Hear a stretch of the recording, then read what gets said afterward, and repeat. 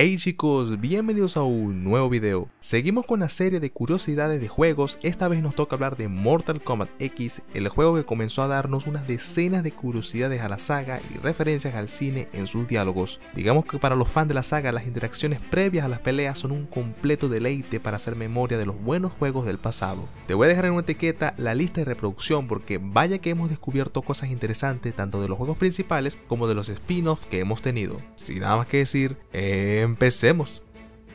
Gracias a Honeygame por ser el sponsor de este video. Honeygame es una aplicación que te da dinero solo por compartir un poco de tu conexión de internet sin la necesidad de que hagas nada más. Solamente instala la aplicación en tu dispositivo Android, Mac, iPhone, Linux o Windows y empieza a ganar dinero. Esta aplicación no violará tu privacidad ni colectará información delicada, por tanto es 100% segura. Honeygame usa tu internet para acumular información del precio de productos en páginas web, ya sea de pasajes de avión o incluso zapatos. Es la forma que tienen las páginas de ofrecerte las mejores ofertas de un producto que te gusta. Aun cuando no hayas descargado la aplicación ya estás beneficiado de sus servicios. Ahora, no crean que se van a hacer ricos, pero seguro podrás cubrir tu suscripción a Netflix sin problemas o incluso uno que otro juego en Steam. Este mes de septiembre, la gente de Honeygame tiene un gran sorteo de 10 mil dólares en premios. Cada semana habrá ganadores de AirPods, relojes inteligentes, tarjetas de regalo de los principales servicios online e incluso teléfonos. La forma de ganar es muy fácil, solo debes descargar la aplicación con el código que tienes abajo en la descripción, invitar al menos un amigo y tan pronto ese referido comparta 200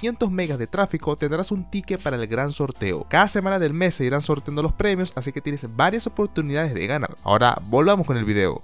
Existe una referencia a la película Depredador en la selección de personajes de Mortal Kombat X. Cuando seleccionamos a Johnny Cage con el skin Commando y a Jax con el skin de Carl Weathers, ambos se dan un buen estrellón de manos. Claramente esto recuerda la escena en la que Arnold Schwarzenegger y Carl Weathers se reencontraron en la película de Depredadors en 1987.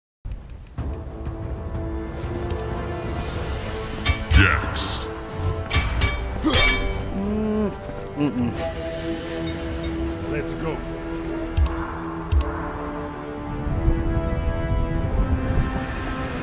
You son of a bitch.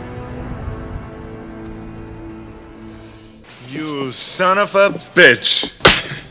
Tremor tiene una variación cuando uno de los fatalities del alien es aplicado en él. Como probablemente sabes, los embriones del xenomorfo varían dependiendo de la especie que este tome de huésped. Por ejemplo, en las películas hemos visto que con la unión de un humano, el alien en su forma adulta en su cabeza tiene un cráneo humanoide adentro, y cuando se unen con un depredador, estos tienen un cráneo de depredador y una mandíbula retráctil. Dentro del juego, cuando el embrión salta del pecho de los personajes humanos, estos no tienen prácticamente ninguna diferencia, pero cuando es el turno de Tremor, podemos ver claramente cómo este tiene una coloración y textura parecida a la Tierra, dejando claro que el personaje es biológicamente distinto que el resto. Los otros embriones que podemos ver con variaciones son los del Depredador, Milina y el propio Xenomorfo.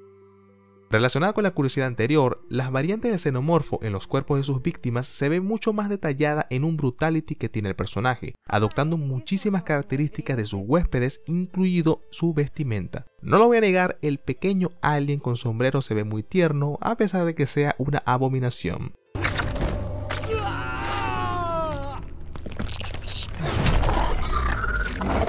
Brutality. Alien wins. El famoso Fatality de la selfie de Cassie Cage, curiosamente, no es una idea original de NetherRealm Studios. De hecho, apenas dos años antes, en el juego de Deadpool desarrollado por High Studios, luego de que Deadpool matara a un clon de Siniestro, este se tira una selfie con la cabeza y la sube a una red social. La canción que escucha Cassie en su intro de Mortal Kombat X es el tema Mishmash de Mortal Kombat 3, un rotundo clásico de clásicos. En los diálogos entre Johnny Cage y Goro tenemos unas grandes referencias a la primera película live action de 1995. En uno de los diálogos, Johnny recuerda que Goro le debe un costoso par de lentes de 500 dólares, los mismos que el Shokan rompió en su cara en la película. Johnny Cage. ¿No me debes unas gafas de sol? Esto es lo que se te debe. Round Y en otro, Johnny le dice que cuide sus canicas. Caerás pronto, Goro. ¿Y cómo exactamente? Los Shokan tienen genitales, ¿no? Round En un diálogo con el xenomorfo, Aaron dice que lleva bastante tiempo sin ver a uno de ellos. Esto implica que Aaron se topó con otros como él en el pasado. Recordemos que según la biografía del alien en el juego, esto lleva mucho tiempo que llegaron al mundo exterior y Aaron Black tiene al menos 150 años.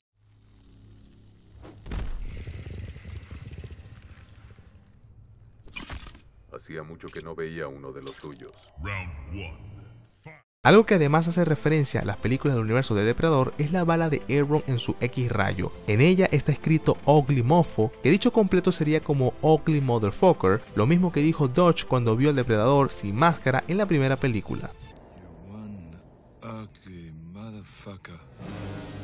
En un diálogo entre Takeda y Keino, el Keino dice una frase referencia a Cocodrilo Dundee y su cuchillo. Lo que me hace pensar que efectivamente es una referencia es que Takeda nunca muestra el cuchillo, pero igual la dice. Aunque debo decir que hubiera sido mejor para Aaron Black esta curiosidad. Usaré mi cuchillo para rajarte. Eso no es un cuchillo. Hice que lo dijeras. Eso no es un cuchillo. Esto es un cuchillo. En un diálogo de Cassie Cage con Kenshi, la pequeña Cage llama al espadachín Keanu. Esto es claramente una referencia a Keanu Reeves y su personaje Neo en la saga de Matrix, especialmente con la aparición que tuvo en Matrix Revolution, donde Neo usa una venda y eso lo hizo lucir mucho al Kenshi que conocemos. Ven, Keanu. Keanu significa brisa fresca. Sí, por eso te lo digo. Round 1. En un diálogo entre Johnny Cage y Ferrator, la estrella de cine los llama Master Blaster, haciendo una referencia a la película de 1985 Mad Max Más allá de la cúpula del trueno. Claramente podemos ver una similitud entre el personaje de la película y Ferrator, especialmente con una skin alternativa del personaje llamada El Maestro y el Sirviente. Con respecto al personaje de Mad Max, Master era el pequeño hombre sobre el gigante Blaster. Master se veía a sí mismo como el líder de la tribu, incluso por encima de la villana de esa película. Master Blaster. ¡Ferra hace las rimas! ¿Y con qué rima lágrimas? Round 1. Fight. En un diálogo espejo de Sub-Zero se desarrolla un diálogo que hace referencia a unas palabras intercambiadas entre los hermanos Kuai Liang y Bi-Han una vez ambos pasaron por sus respectivas transformaciones. Estoy hablando la de ser Cyber Sub-Zero y Noob Cyber. No, no eres digno de llamarte Sub-Zero. ¿Quién lo dice? Yo vestí esos colores. ¿Hermano? ¿Eres tú? No soy tu hermano. Entonces llevar esos colores es una ofensa. Una muerte de facción en el juego es la de la muerte por estrellas ninja. Esta es una copia al carbón de los fatalities de Noob Saibot para Mortal Kombat 4 y Deception. Mátalo.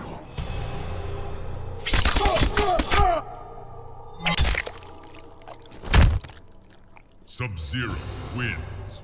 Un diálogo espejo de Shinnok hace una super referencia a un misterio del Mortal Kombat Armageddon. Estoy hablando del clon de Shinnok. Se dice que el dios caído fue uno de los pocos personajes que pudo sobrevivir al Armagedón, dado que supuestamente, al no poder salir del Netherrealm, este envió un clon para que luchara por él en la pirámide de Argus y es ese que vemos en la intro del juego. En el final del personaje se nos explica que ese clon ganó y el poder de Blaze lo hizo rivalizar en poder con el Shinnok original.